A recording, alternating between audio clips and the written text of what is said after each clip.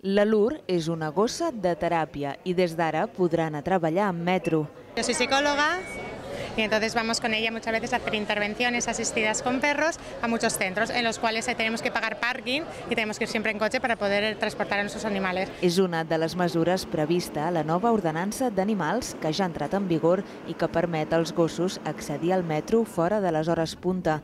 D'aquesta manera, Barcelona se suma a altres capitals europees com Berlín, Brussel·les o Amsterdam. Realment Barcelona és capdavantera en aquests moments, i ho podem dir amb orgull, mm, no tan sols amb la seva imatge que està projectant arreu d'Europa de, i del món, sinó que també és capdavantera amb estimar i amb respectar els animals. Barcelona ja fa bastants anys es va declarar ciutat amiga dels animals no podem ser una ciutat amiga dels animals amb la, tota la seva extensió sense normalitzar eh, el fet d'avui, el fet de que els, els gossos amb limitacions, amb limitacions puguin fer servir el metro de Barcelona. Perquè puguin viatjar en metro cal que vagin lligats amb una corretja no extensible i amb morrió, a més de dur el xip i estar inscrits en el cens municipal.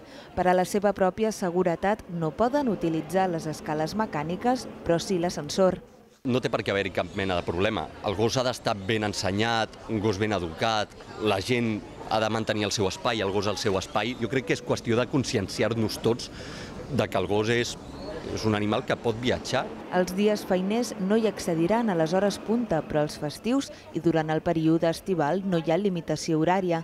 Per tal de preservar la convivència, el propietari serà el responsable de complir amb l'ordenança.